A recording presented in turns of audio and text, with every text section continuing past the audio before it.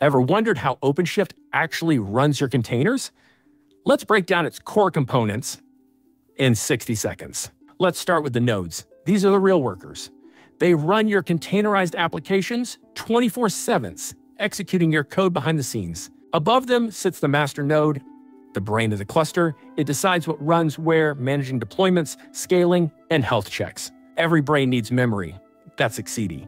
It stores your cluster's entire state, configs, secrets, and who's running what. Each node has its own Kubelet, a tiny agent that keeps your containers honest. If one crashes, Kubelet restarts it instantly. Finally, your control panel, the OpenShift CLI, or simply CiplioC. One command line to deploy, scale, and rule your clusters. So there you go. Nodes run it, the master coordinates it, etcd remembers it, Kubelet maintains it, and the CLI commands it. Together, they form the powerhouse we call OpenShift,